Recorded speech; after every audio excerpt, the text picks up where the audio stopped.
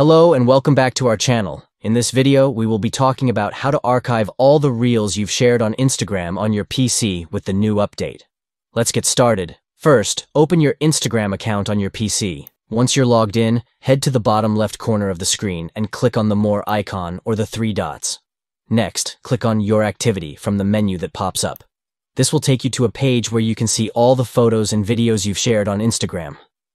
Scroll down to the Reels section and click on Select to choose the reels you want to archive. You can also choose to select all reels if you want to archive them all at once. Once you have selected the reels you want to archive, click on the Archive button. A confirmation message will pop up asking you to confirm the action. Click on Confirm to proceed, and that's it. Your selected reels have now been archived on Instagram. You can access them at any time by going to your profile and clicking on the archive button. Thank you for watching.